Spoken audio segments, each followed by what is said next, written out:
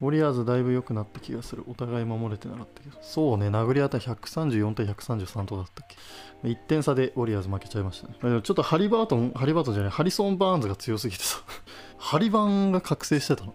最終的にもうクレイじゃ止められないっていうので、ウィギンズが最後ついて頑張って止めようとしてたけど、ハリバンがすごかったね。たまにすげえからな、ハリソン・バーンズ。シーズン序盤の頃も1回40点ぐらい取った試合だったけど、たまになんか先生が頑張るかキャリアハイ。あ今日キャリアハイだったんだ。最終的に40点だっけ？39点？40点ぐらい取って。39点か。フィールドゴール24分の14、312分の7。やべえな。まあでも、ウォリアーズも負けたけど、まあそんなに悲観的にならなくてもいいような感じな気はしましたね。相手はハリソン・バーンズすごかったけど、ウォリアーズもクミンガがめっちゃすごくて、今日も19分の12、この間11分の11でパーフェクトで、今日も19分の12で、30分で31点取ってる。控えからっていうのを考えると、まあ完璧ですね。っていうので最後、あの、クラッチショットもクミンガに任せたんだよね。それがすごかったな。ついにクミンガーに打たせるセット、まあ、もちろんカリーがスクリーナーになってるからクミンガに2人寄ればカリーがフリーになるしっていうカリーも生かしながらっていうセットではあるけど。ただクミンガにスクリーンするってことはクミンガにパス入れてもそこで攻めても文句は言えない。それで攻めて外しても文句は言えない状況をスティーブ・カー作ったから。でそれも最終的にハリソン・バーンズの勝ちか。あれも最後、ハリバンがね、クミンガについて、で、クミンガがハリソン・バーンズ相手にポストプレイしたら、ハリバンに最後ブロックされて止められたっていう感じだから。そう、だからもう、ちょっとクミンガのトレードは考えなくていいね、これね。まあ、って言っても、逆にクミンガよこせっていう、まだトレードしたいんだったらクミンガをよこせってめちゃくちゃ言われるだろうけど、クミンガキープに成功できたんじゃない？これ。まあ、問題はムーディーね。ムーディーはもうきついんじゃない？まあ、今試合出れてないっていうのはあるけど、ムーディー求められて、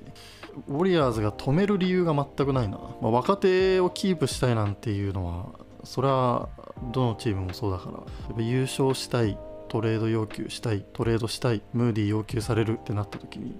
うんもう止める理由がないもんな。使ってないじゃんっていうのもあるし使ったところであんま活躍してないじゃんっていうのもあるし。まあ出すならムーディー・ウィギンズセットか別々か。一番確率は高そうですね。もうドレイモンドとクミンガがスタメンでいいんじゃないですか。そうね、まあそれもきっと考えてるだろうし、ただ別にウィギンズも別にそこまで悪くないというか、やっぱデッキーの死から、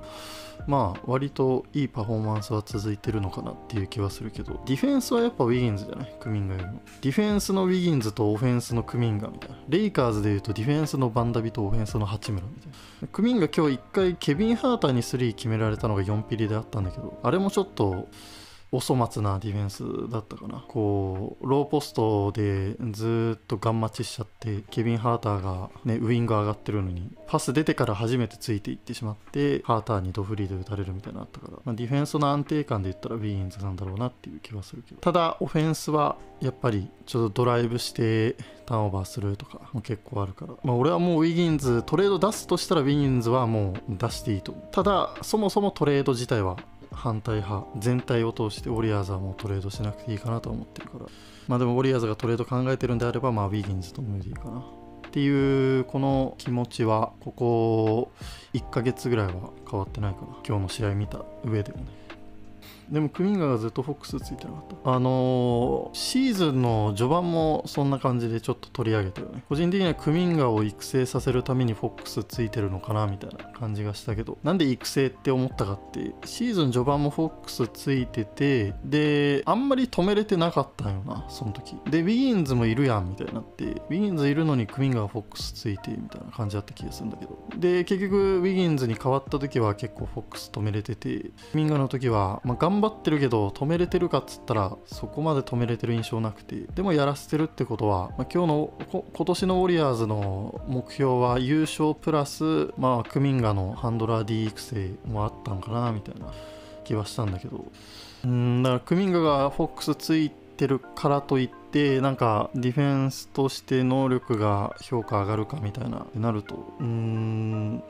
どうなんだろうな。まあでも、その、普通任せないのを任せてるってことは、当然ポテンシャルだけじゃなくて、ある程度対人ディフェンスは評価されてるとは思うから、まあ、対人ディフェンスの部分で言えば、まあ、クミンガもいいディフェンダーっていうのはあるかもね。ウィギンズも止めれてなかった。それ、俺今話したの序盤の話だ。今日の話してるみんな。序盤にもクミンガがフォックスついてて、で、その時クミンガ止めれてなくて、で、代わりにウィギンズがつく時もあってその時止めれる、えー、止めれてた印象があってっていう序盤の時の話してるけど。噛み合ってる俺今。序盤の話してる。正直ガードディフェンスはゲイリー・ペイトン任せみたいなとこ。ろあまあそうね。一番当てはまるのはゲイリー・ペイトになるだろうけど。まあディフェンスって対人だけじゃないからさ。どうなんだろうね。個人的にはクミンガのローテーションとかそっち系のディフェンスは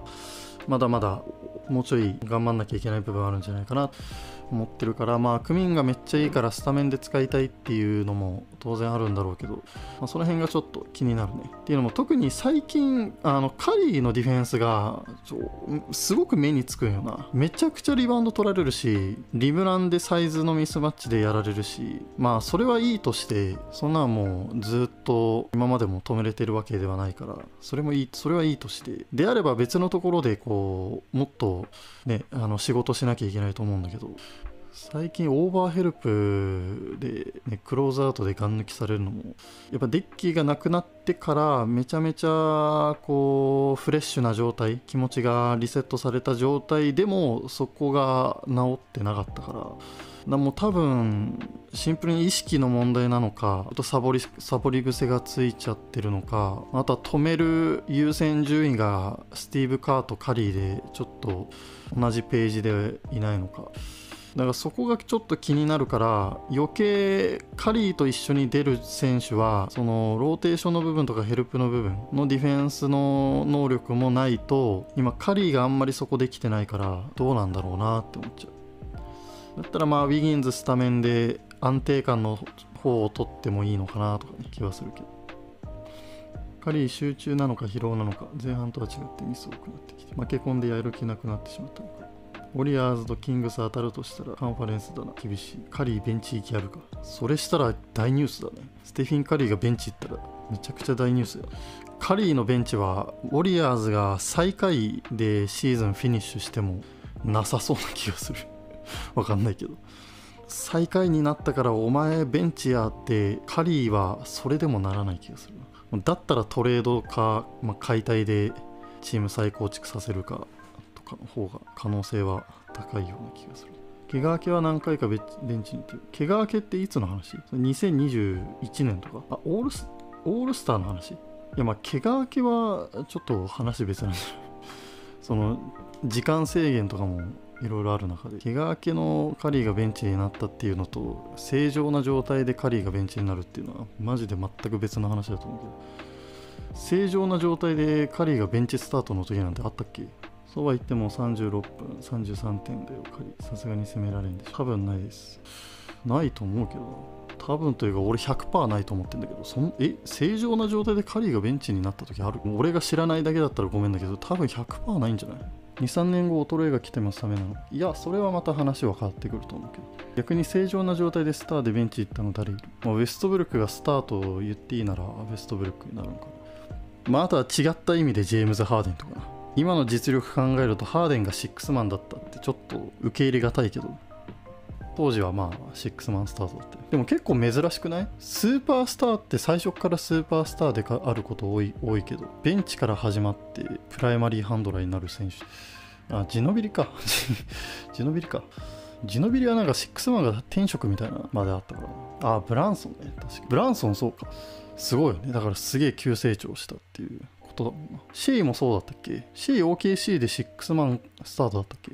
クリポト・シュルーダーがスタメンで C が控えだった。あ、そうだったっけ？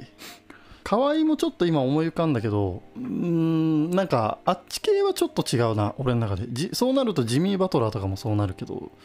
そもそもこうスーパースターになると思って取ってないような気もするんだよな。そんなことないんかな。やっぱりディフェンダーとして評価されまくっててっていう感じのスタートだけどハーデンにディフェンスなんて求めてなかっただろうしこいつはスターになると思ってドラフトされてるような気がするんだけどそういった意味でこう、まあ、ベンチスタートで今やスーパースターってまあでも探せば結構いるんかな。まあまあまあでもウェストブルックがねスタメンだから当時のウェストブルックすごすぎたもん。ああマキシーとかもそうだね。確かに。今やそうだね。ハリバートンマキシーブランソン。この3人は結構劇的に伸びた